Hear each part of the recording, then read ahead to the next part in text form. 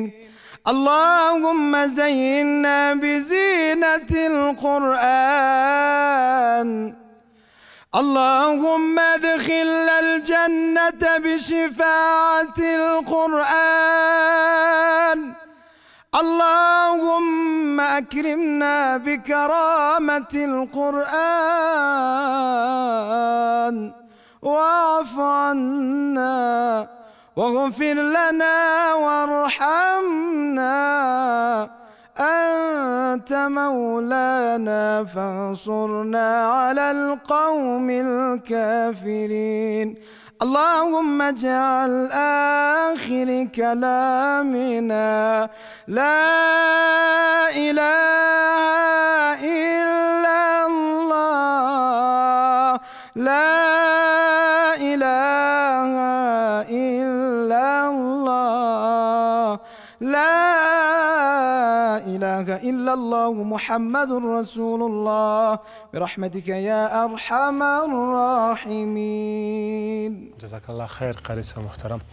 الله سبحانه وتعالی بعضی بندگان په روژه مبارک میاشت کې د دوزخ له اور خلاصوي اوس راشي تاسو د ځان پوښتنه وکړئ چې آیا دغه شپاړسمه ورځ چې د روژې مبارکه میاشت را رسېدلې ده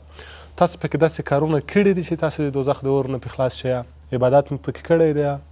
هغه عبادت چې په روژه مبارکه میاشت کې ضرور دي شوي دي که نه دي شوي؟ که نه مو کړي تر اوسه پورې څوارلس ورځې نورې هم پاتې دي راځئ یو تجدید نظر وکړئ یوه کتنه وکړئ او مه پرېږدئ چې دغه روژه مبارکه میاشت همداسې درنه تېره شي السلام علیکم لیدونکو زه جاوید ابراهیمي یم او تاسو د روژه ماتي خپرونه له لمر څخه ګورئ خدای دې وکړي چې د روژې مبارکه میاشت شپاړسمه ورځ به هم په خیر تېره شوې وي دا ښکلی تلاوت یې چې وکړلو په د زړه کې چې چک ووهلو دا قاري صاحب عبیدالله درویش وو شاید کتلی مې وي په د څو ورځې کې ماشاءالله تلیوتونو بیخي ګل کړی دی قاري صاحب محترم خپرونه ته پخیر راغلې. السلام علیکم سلام تقدیم میکنم خدمت شما بیننده های عزیز و یک روز رمضان خوش خوب و خوش بر تمام هموطنان عزیز خود خان است باعزت باشین ماشاءالله چقدر شیرین تلاوت کردی سلامت زنده باشین لطف نظرتان است قاری صاحب محترم استادتان کی است دری بخش؟ در بخش تلاوت البته دقیقا. در بخش تلاوت خداوند مغفرت کنه الحاج قاری صاحب نصیر احمد حمیدی خداوند مغفرتش کنه پیش از اونا ما درس قرائت خواندیم حافظ هستین حافظ بله، کل حافظ قرآن قرآن هستیم ماشاءالله و چی تصمیم دارید در سال آینده چی بکنی انشاءالله مدارس انشاءالله. درس میتی یا خیر فعلا نه فعلا نه فقط اه، دمو منطقه که هستیم و تفلک های کس تقریبا دو سال میشن ماها رو درس میتونم یک سه چهار نفر از بخش روحانی البته فارغ شده دیگه در آینده تصمیم دارم که دیگه درس علوم قرآنی را پیش ببرم ماشاءالله انشالله که بعد وجه احسنش پیش ببری و معلوم دار است تلاوت صدای که خداوند براتان داده باید هزار بار شکر شادا بکنن چنه ماشاءالله خیلی زیبا تلاوت میکنن بعضی ها میگن که تلاوت چه رقم یک یک یک کار کنیم که می صدا جور شه باز ما میگم که مو چیزی را که پروردگار داده باشه والله که زمین آسمانه که تو به همون بزنی او کار که پروردگار به تو یک استعداد داده باشه او نمیتونی بسیار زیاد تشکر قاری صاحب محترم که آمدی خداوند شما را از جربت بدون که اسم حالی ولنده دماغ لو دمین ورسته بیا هم ستاس پچوپړ کې چیرته مزه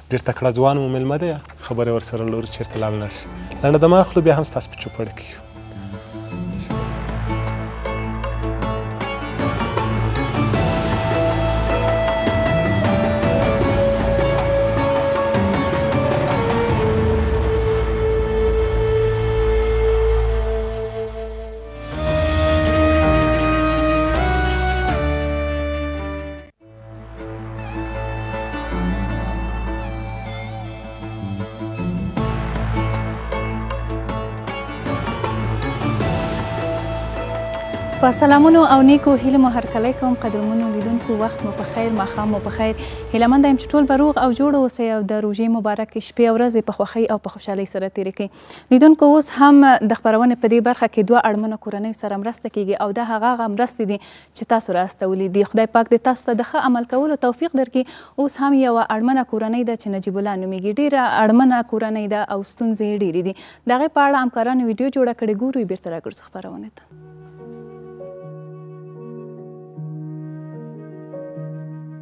نام نجیب الله است و در منطقه چرخو زندگی میکنم و شش اولاد دارم چهار دختر او دو بچه دارم او خودم و خانم جمله هشت نفر هستیم و چهار مریض در خانه دارم تقریبا مدت هشت سال پیش در بغل گوشم تیمور پیدا شد یک خورتک به اندازه یک دانه نخوی بود تا قرا قرا بزرگ شد بازی را رفتم پیش دکتر در قلاچه ایره خواستم که ایره تداوی کنم باز دکتر گفت تداوی میشه وقتی که پاره کرد بازی خونریزی کرد باز تستوان از او بسیار بالا بود باز او گفت که چیز که این نمیشه ایره پس بسته کرد گفت بازی را در شک شفاخانه شخصی عملیات کرد باز ما دیگه وسم نرسید دیگه اینم تو ماند دیگه خانم از تقریبا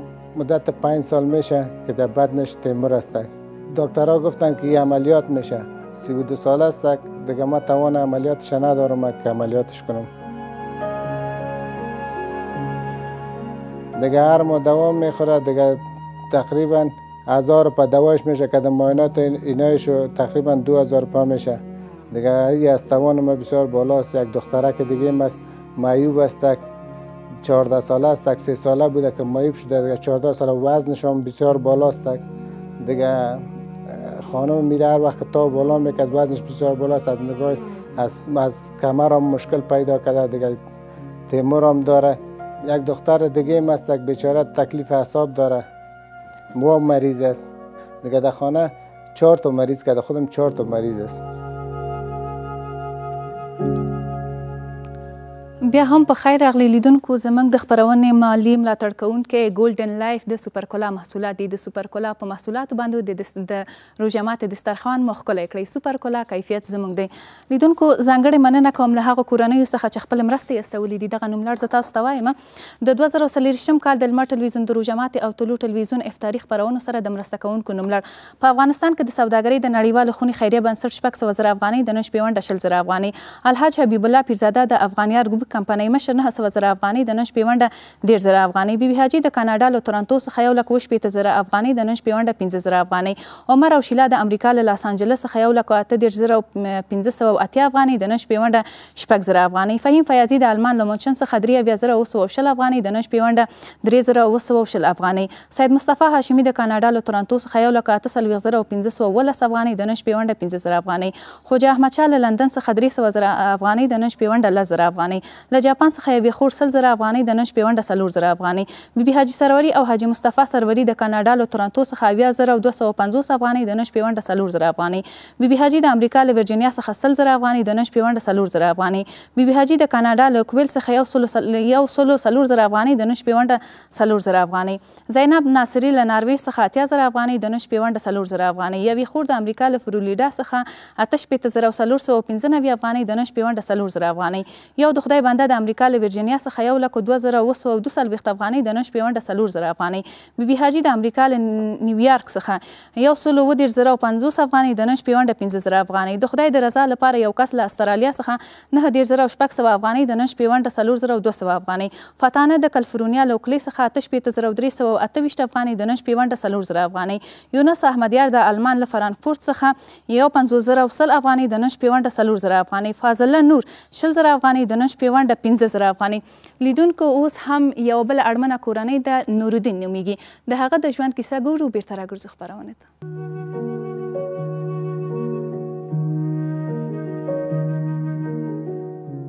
زه نورالدین د حضرت ګل زوی د خیرآباد د کلي اوسېدونکی او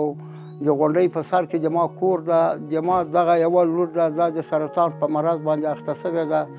یو نیم کال شو چې زه په دې باندې تداوي کوم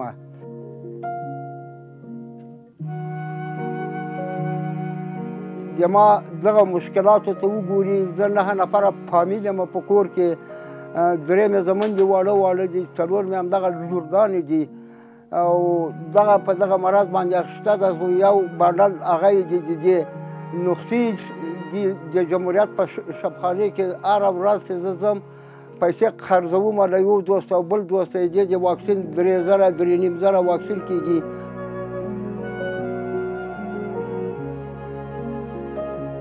هغه ټول زه په قرض کوم او کله مې اولاد وګیي کله زه خپله بېکاره یم شپږ شپېته کلن سړی یم او نوره وسه چې ما ولاکه هېڅ بیخي په ځان کې پاتې بیا هم پخیر راغلی لیدونکو دا پاتې لس زه وایم حاجي محمد کامران د ترکیې له استانبول څخه یو سلو پنځوس زره افغانۍ د نن شپې ونډه لس زره افغانۍ ډاکټر رحیم الله عززي د قزاقستان له الماتا څخه سل زره افغانۍ د نن شپې ونډه څلور زره افغانۍ د بوستان ستاپ شرکت څخه پنځوس زره افغانۍ د نن شپې ونډه څلور زره افغانۍ فروزان یونسي د کاناډا له وینکور څخه نهه دېرش زره او دوه سوه او اته نوي افغانۍ د نن شپې ونډه څلور زره افغانۍ اسحاق قاضي خاني له انګلستان څخه پنځوس زره او درې سوه او شپږ دېرش افغانۍ د نن شپې ونډه څلور زره افغانۍ، مریم لیان د کاناډا څخه پنځلس زره افغانۍ د نن شپې ونډه څلور زره افغانۍ، سراج الدین محمودي د آلمان څخه دېرش زره دېرش زره او یو اتیا افغانۍ د نن شپې ونډه څلور زره او یو اتیا افغانۍ، د مرحوم حاجي حفیظ الله رحمن قل کورنۍ له استانبول څخه درې زره امریکایي ډالر د نن شپې ونډه سل امریکایي ډالر، د ندا زاهد خیریه بنسټ له خوا درې زره امریکایي ډالر د نن شپې ونډه سل امریکایي ډالر استاد منصور دوه زره اووه سوه امریکایي ډالر د نن شپې ونډه سل امریکایي ډالر لیبل خیریه بنسټ له خوا اووه زره ایرو د نن شپې ونډه دوه زره او دوه دېرش ایرو ادریس ځدران له آلمان څخه زر ایرو د نن شپې ونډه پنځوس ایرو اکبر کورنۍ د آلمان څخه دوه زره او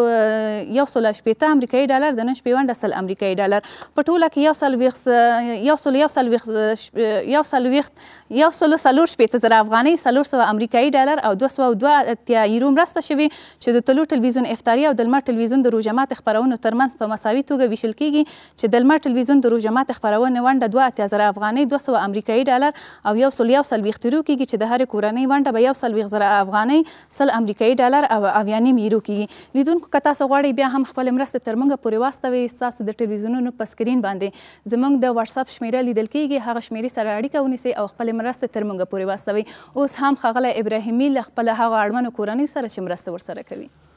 ډېره زیاته مننه ښایسته خور الله دې تاسو ته اجر درکړي د تاسو څخه هم ډېره زیاته مننه چې همیشه مو د خپلو هېوادوالو سره مرسته کړې او په سختو شرایطو کې ورسره پاتې یئ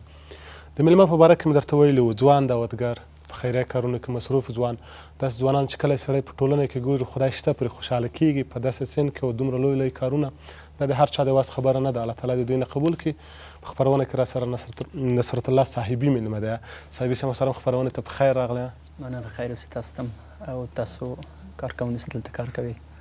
ټولو ته. سلامونه وړاندې کوم السلام علیکم ورحمت الله وبرکاته وعلیکم السلام ډیر زیات خوشاله شوم چې خبرونه ته راغله ډیر خبره در سره لرم خو مخکې دې چې نور خبره وکړي تاسو هم خبرونه ته په خیر راغله ان شاء الله چې ټول به جوړ روغ وي دا هغه کومکونه دي صاحب صاحب چې دوستانو را لګلې دي الله دې دوی ته اجر ورکړي تاسو کولی شئ دوی ته ورکړئ زما ستا مجلس بیا ان شاء الله شته ده دا کومک ملته دا ستاسو کومک دا صاحبي صاحب کړی الله دې ته اجر ورکړي او دا هم ان شاء الله چې سخت ورځې تیر شي تاسو کینه کینه ان شاء الله چې د سخت ورځې په ژوند کې تیر شي او په ژوند کې ښه ورځ راشي په هر تور سپه پښې تک سپین رڼا شته په ژوند کې ټول انسانان مشکلات لري خدای به ښه ورځ راولي په دې وطن کې ان شاء الله موږ تاسو نور د خیر کارونو کې صاحب صاحب محترم روزه مبارک مې څنګه تیریږي الحمدلله ماه مبارک رمضان خیلی خوب تیر میشه شکر به توفیق پروردگار ورنه اگر عادت قبل از رمضان باشه یک اندازه سخت سپری میشه ولی چون توفیق پروردگار شامل حال ما هست خه تریگ الحمدلله ده خدای فضل ده صاحبی صاحب ګورم د په سوشل میډیا کې د فعالیتونه ګورم الله دې ډیر دې اجر درکړي په کوم کارونو باندې مصروف یې کوم کارونه مخکې وړه بله بعضی کسا بعضی اوقات پرسان میکنه در چی مصروف هستی باز ما در چی مصروف نیستیم الحمدلله بخشای آموزشی است تربیتی است دارالایتام است کلینیک است بنیاد خیریه است مراکز آموزشی حضوری و آنلاین است درسای خودم است درسای خانواده است دمی چیز ها معمولا که درسای ملت است درسای ملت است نه تنها ملت افغانستان درسای که بله خارج از کشور خارج از کشور باز کسا است کار بزرگ میکنن خداوند شما را توفیق پروردگار است حاجی صاحب تاسو مریضان څنګه دی اوس ولا مریضان اوس پرده کې فضل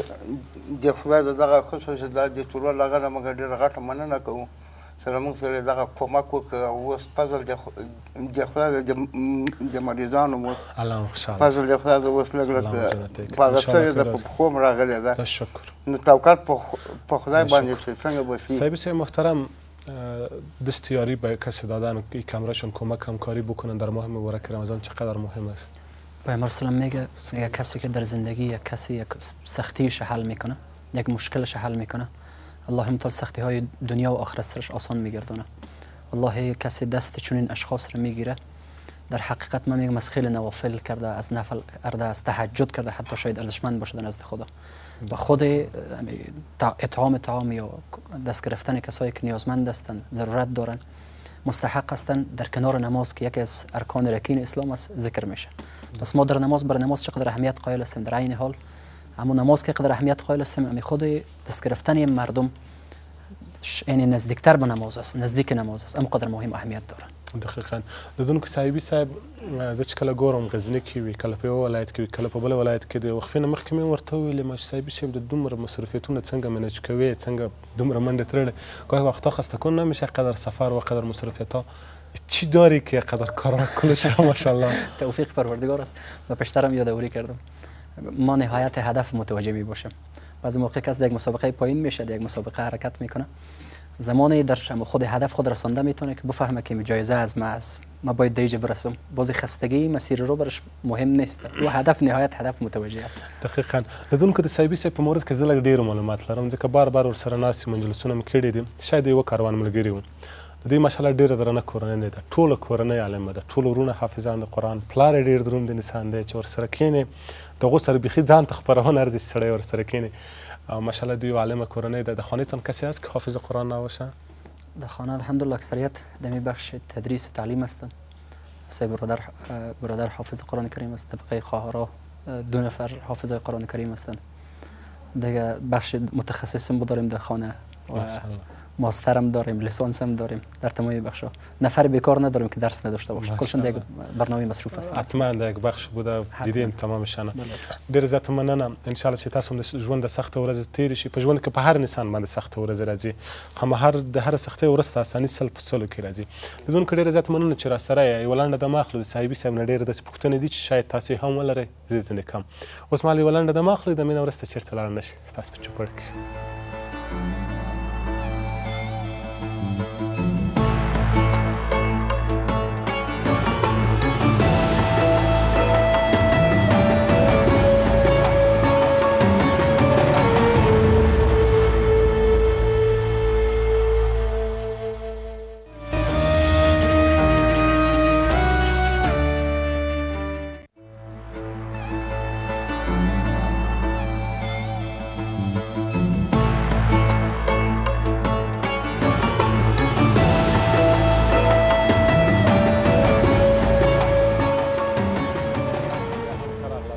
چې د روژې مبارکې میاشتې شپاړسمه ورځ به تر دې دمه ښه تېره شوې وي شیرحمد جانه ستړی مه شې وبښه چې ستړي مه شې وروسته کوم څنګه یې ښه یې جوړ یې روژه په خیر تېرېږي څه شی دې پخ کړي دي ډیره مننه سلام تاسو ته او جناب استاد ته لیدونکو ته وړاندې کوم نن لپاره غوښه خو هره ورځ ده ځکه چې مخکې وایي چې شي د پخ کړي مال وریجې او وریجې خو موږ متفاوته پخو کله بریاني وي کله قابلي خو د ابراهیمي صاحب دومره وریجې نه خوښېږي نن به یوازې تا ته به ترکاري برته جوړه کړم څنګه او تور بانجان هم تیار کړي چې دا اندیان تیاري رایته چې بنګړی دی ته ورته وای دم تیار کړي ډیر خوندور دي او ډیر ښایسته رنګ هم لري او په ترڅنګ ساده بریانی موږ تیار کړی ساده بریانی صرف د بریانی مسالې نه ګټه اخیستل کیږي او پیاز رومي نه د ساده بریانی ډیر خو ترخه نه وي چې معده په درد شي نه نه مرچک دې کې نه اچول کیږي ځکه چې کله چکن بریانی تیاروي یا ویجیټیبل د ترکاریو هغه سره بیا مرچک او دغه لږ زیات اچول کیږي او په روژه ماتي کې بیا ټوله کې مرچک کم وکاروو یو ځکه چې په معده باندې بد تاثیر کوي په تا ملکه چې کړي دا څنګه نه بریانی چې ترخه نه وي به مزه دومره خو ډیره زیاته مننه خیر اوسې صاحب سه محترم زه مطمئن یم چې په دې ورځو کې به ډېر مصروف وای په برنامو کې نورو شیانو کې زه به اکثر دا پوښتنه وکړم چې شاید نور کسانو دا پوښتنه نه وي کړې صاحبي صاحب کوم داسې ارمان په زړه کې لرې چې هغه پوره شي بیا که ومرې خیر یعنی کدام ارمان د دلت هست اگر دمی دنیا میخوای پوره شی اگر بموری اون باز مشکل نیست خدا نکنه بموری ان شاء الله که زنده باشی خو اما اما ارمانی که زندگیت میخوای پوره شا ما فکر میکنم اگر برای مردم بگویم شاید مبالغه شوه ما کدام آرزوی ما در دنیا نمانده که پوره نشده باشه الحمدلله صادقانه میگم براتون که این چیزی مانده باشه که اون نشده باشه یک آرزوی اخروی است که اگر ما بفهمم که الله متعال از ما راضی است دیگه بزرگترین آرزو است. از این نعمت هایی که داری کدامش برات زیاد خوشایند است و حس میکنی چون تمام آرزوهایت پوره شده مثلا شاید من یک عالم آرزو در دلم داشته باشم تو کم دست آرزو مثلا در نعمتونه چی دی کمی و ډیر خوشایند ده برای ما که خیلی مهم است سرپرستی ایتام است که ما در خدمت دارالایتام می باشیم گرچه برنامه خیریه خیلی زیاد است الحمدلله ولی مهمترین بخش که ما یک کمی دلم سرش خوش است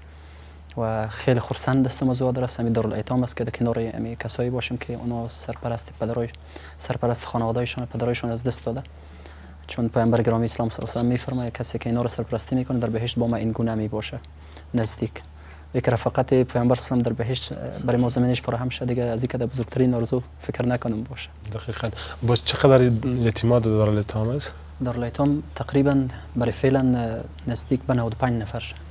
یتیما یعنی شما 95 نفر اطفالی که نقش یک پدر را برشان بازی میکنین هستین بسیار کار کلان میکنین و خداوند جل جلاله بر شما بسیار اجر نصیب نصیب کنه میبینیم برنامه تان فوتبال میرین باشان بازی میرین آدم یگان دفعه بخیلیش میه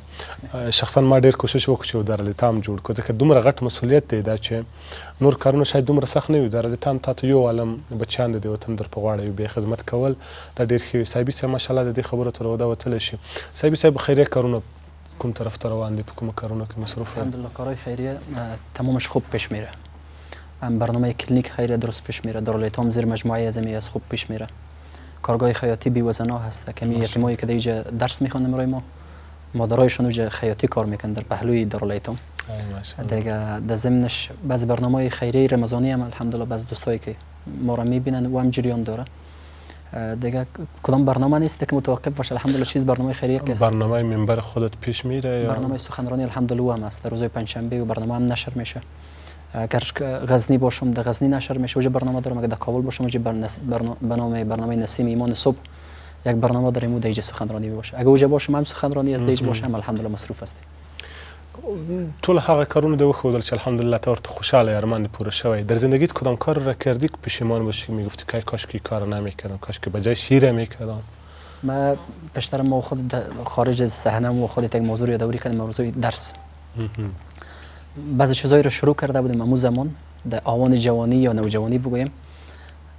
اگر احیانا تال را دوام پیدا میکرد آل دمو بخش استاد بودیم الحمدلله ولی آل پس از گفته زنها از پشت سر گرفتیم که باز پس شروع بکنیم ما همین لحظه پیشترم یادآوری کردم که ما دو پنتون هم زمان شروع کردیم با مقدر مصروفیت چون من میفهمم که کاش گذشته ما امو وقتا که شروع کرده بودم پس رهایش نمیکردم همت عالی تر میکردم که تالر خلاص میشد حال فارغ بال بودیم الحمدلله خال متاسفانه که او وقت نشد از همین کار پشیمان هستم کاش او وقت ضایع نمیشد حالا هم انشالله فرصت است به شک تر اوسه پورې ځوان یې تر اوسه پورې پیګیره کې یو تر سپین نه دی پیدا شي ډیر وخت شته دی په غوج د ځوانۍ کې یعنی که سړی وغواړي چې په ژوند کې کوشش وکړي زیار وباسي وخت شته دی صاحبي صاحب ماته معلومیږي چې تر کومه سطح پورې مصروف دی بیا هم چې دوست کله ده ویل چې دې کور پنتون ته ځم او دې ته ځم ماته ډېره جالبه ښکاره شوله ځکه په دومره مصروفیتونو کې دومره کار کړل ډېره سخت خبره ده صاحبي صاحب اصلي رشته د څه شي ده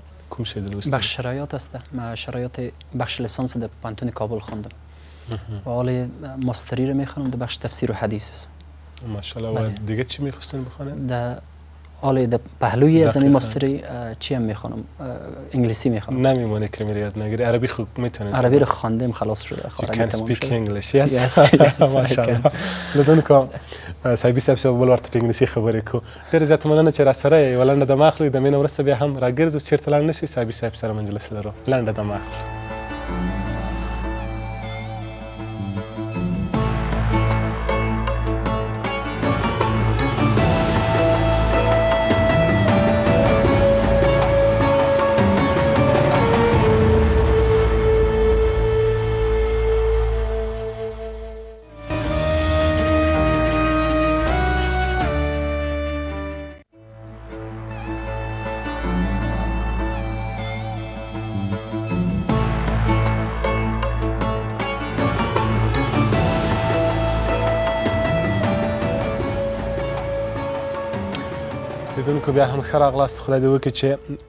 روژه ماتي به مو تیار کړی وي، تلویزیونونو څنګ ته به ناست وي او زموږ خپرونه به ګورئ. سبي صاحب محترم په ډیر مهم او اساسي وخت کې یو، ځکه اذان ته ډیر کم وخت پاتې دی، زه فکر کوم موږ یوه دقیقه وخت لرو، که د دغه وخت په فضایلو باندې خبرې وکړئ چې په دې وخت کې عکس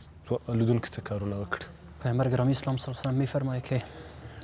افطار کننده در وقت افطار یک دعای مستجاب داره یعنی کسی که روزه میگیره حالا ما و شما در دل خود خیلی آرزوها داریم کسی خواستهایی داره در درون دل خود یعنی می لحظه ای که مردم ما را می بینند و در کنار سفره های خود نشستگی هستند وقت قبولی دعا هست هر روزهدار که زمینه برش فراهم باشه باید زمینه را فراهم بکنه و شما خود ایج هستیم اونا در حق ما دعا بکنن در, در حق امت اسلامی و در حق فلست... مردمای فلسطین و از این فرصت استفاده کردن که فرصت خیلی ناب است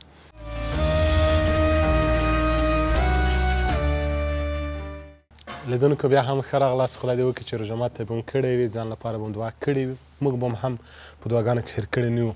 صاحبي صاحب محترم د کلینیک کارونه څنګه روان دي زه ګورم چې تاسو هلته خلکو ته وړیا د سترګو عملیاتونه کړی څنګه مخکې روان دي از ما کلینیک ما خاص فعالیتش تقریبا نزدیک به یک نیم سال میشه و کلینیک خیریه است بخشای داخلی عمومی از داخلی اطفال و نسایی ولادی البته خیریه به معنای رایگان نیست که مکمل رایگان باشه همه چیزی پرسنل کاری که اوجا کار میکنن خود ما معاشات اونها از اموج پرداخت میشه در ضمن از بعضی رایگان ها داریم مثلا خودتان یادآوری کردیم ما عملیات های چشم داریم رایگان که تقریبا در مدت یک کنیم سال نزدیک به 800 عملیات های چشم رایگان صورت گرفته کسایی که نیازمند بودن ناتوان بودن یعنی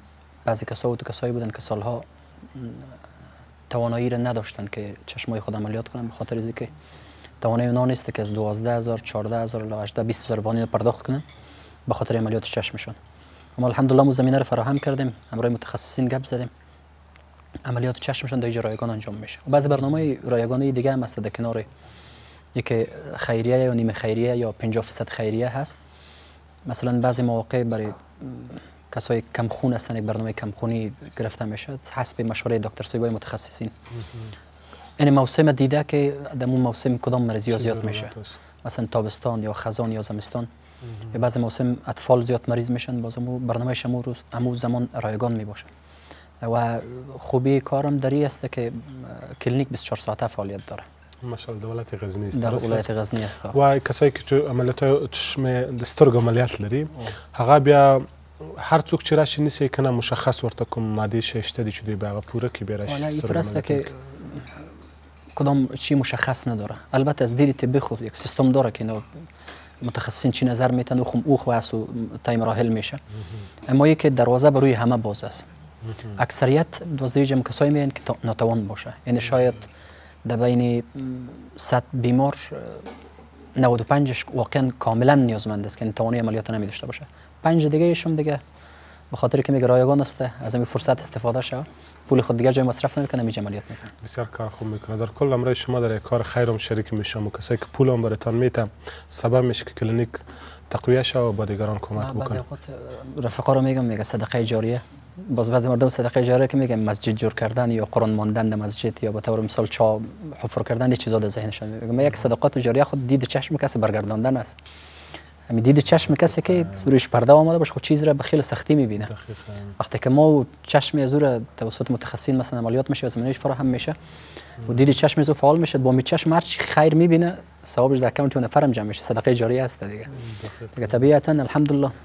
کار خیر است که هم نفش به خود صاحب کمک کننده میرسه هم به او کسی که ډیر لوی کار کوي بله یعنی دا تاسو د افغانستان د خلکو اقتصادي وضعیت خراب دی دوی چې په دومره سخت شرایط کې ور سره وردرېږي اول تاسو ټول تعالی اجر درکړي بیا صاحبي صاحب ته چې په دې برخه کې فعالیت کوي صاحبي صاحب قهرمان زندگیت کی است ما چون پدر پدر بگم یا مادر اگر هر دویشان بگم یک نفر پرسان میکنه دو نفر بگویم دو بگویم که بس خفه نشوم ما قهرمان د زندگی جز پدر مادر ندارم نه که دیگه مردم قهرمان است که در کنار ما هستن ولی منایی که پشت ما بودن روز کسی یک جای یک متن خیلی زیبا را خواندم گفت چی است کسی از ما پرسان کرد که کوه را برای ما تعریف کن باز ما دیگه تعریف نداشتم گفت پدر دغه قهرمان زندگی مو پدر مادر ما هستن دقیقا پدرتان باید هم قهرمان باشه به خاطر از کاجی سه ما چندین جای دیدیم ماشاءالله د علم د ادب نه ډک انسان ده در التام کارونه به کم طرف روان تصمیم دارن تنها در ولایت غزنی در التام داشته باشین همچنان کلینیک یا ولایت های دیگه هم تصمیم دارن که انتقال بشه والا بعضی مواقع اعتراض میکنه سر مردم که چرا غزنی غزنی غزنی کل چیز غزنی غزنی من چون جوابشان چی بگویم خو من یک گپ دارم از ما دمی دارالایتام از دیگه ولایت هم هست مردم ما موجب از کسایی که لیلی هستند از دیگه ولایت هست و خو نمیتونیم رسان دور روزمره دیگه وقتی که از دیگه ولایت ها باشه خدمت به کل ولایت ها هست ولی اگر خدا ما توفیق نصیب بکنه طبیعتا ما دیگه جای فعال میکنیم ولی یک سیستمی که برای فعل ما داریم مراکز ما که در کابل فعال است دوج سنفای ایتام یتما رایگان است سیبی سی محترم بعض جوانا را دیدین ایخ بخش کمک های خیریه بود بیان سر د ځوانانو تقویه لپاره هم بعضې خبرې وشي بعضې کسان دي د ژوند نه ناامیده شوي ناهیلي شوي دي او داسې حس کوي چې دا دنیا نو څه په درد خوري شاید دا مسیجونه تاسو هم ډېر پیدا کړي وي ما ته هم په کافي اندازه مسیجونه راځي د دې ځوانانو لپاره د پیغام څه دی چې دوی د ژوند نه ناهیلي شوي مشکلاتو راګیر کړي دي یو څو داسې امیدبخش خبرې ورته وکړه چې د خپرونه ګوري یوه انرژي پکې پیدا شي او ووایي چې نه تر اوسه پورې دنیا شته ده مرا بعض مواقع که کس سوال میکنه میگه حتی بعض مواقع مردم میگن که خودکشی حکمش چی است یعنی که خود بکشه حکمش چی است این سر جایش بگذار میگه مشکلات زندگی است اقتصاد خراب است فرزندای قسم است مسائل ازدواج ما قسم است ده ها مورد دیگر هم میکنه باز میگه چطور میشه باز من میگم در موجودیت خدا میگم گپا معنا داره که خدا موجود باشه پیشانی هست زمین است سجده کردن است دستا است که دعا بکنه خبر فعالیت است دست بر گرفتن است چشم بر دیدن است و یکی ما روز یکی از دانشمندان ما چیش میخواندم کتابشه و گفت تا زمانی که پیشانی باشه و سجده کردن به پیشگاه خدا در زمین باشه غم معنا نداره و این غم در زندگی درد و مصیبت باید در زندگی باشه ورنه انسان اگر در زندگیش درد و مشکلاتی چیزا نباشه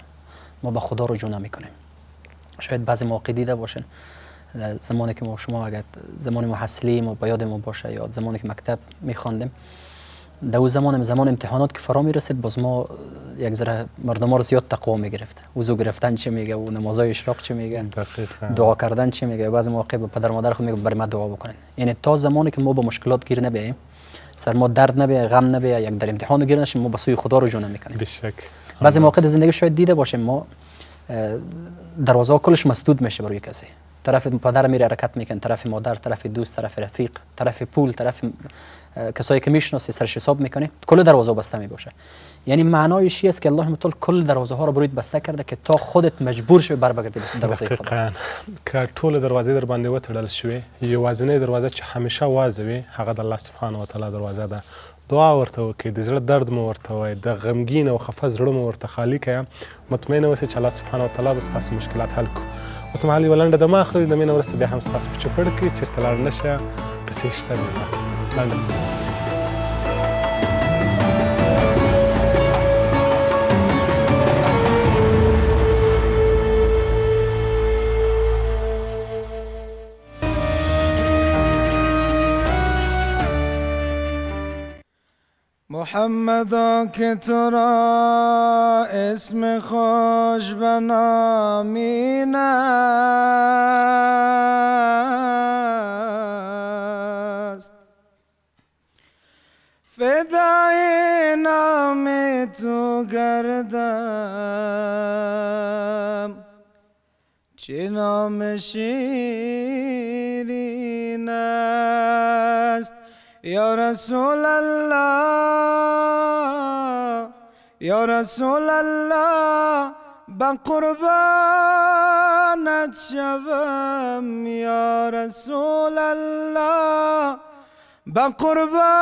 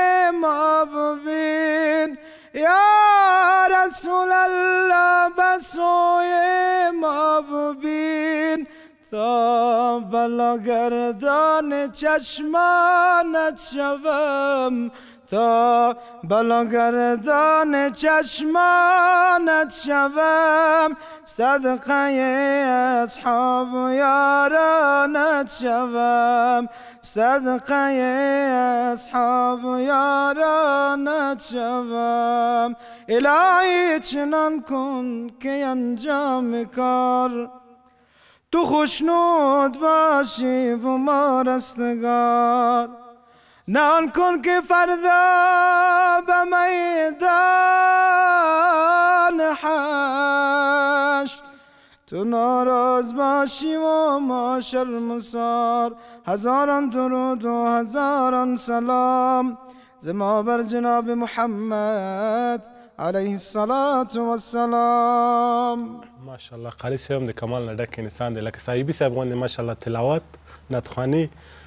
هر شي کې د اتمن مهارت پیدا کړی ډیره زیاته مننه صاحبي صاحب محترم ځوانانو ته پیغام څه ده جوانان رو چی میکنه که به همگی برای همگی یک پیغام بود پیام ما رو میشنوه 20 ثانیه وقت داریم باید پیغام خلاص کنه شانزدهم رمضان است دقیقا اگر گذشته خوب در رمضان نداشتیم یعنی خوب استفاده نکردیم آل فرصتش است که گذشته جبران شود دانشمندان میگن اگر اخیر خوب بودیم گذشته هم جبران میشه خدا کنه جبران شده باشه ان شاء الله بسیار زیاد تشکر صاحب صاحب محترم که در برنامه دین قاری صاحب محترم بسیار بسیار زیاد تشکر که آمدین لیدون که تر بیا پورې چې زه جاوید ابراهیمی سره له خپل همکارانو ستاسو په چوپړ کې حاضرېږم ښه شپه ښه روژه ماتی خدای دې وکړي چې د نورو ورځو ته ښه پلان ولرئ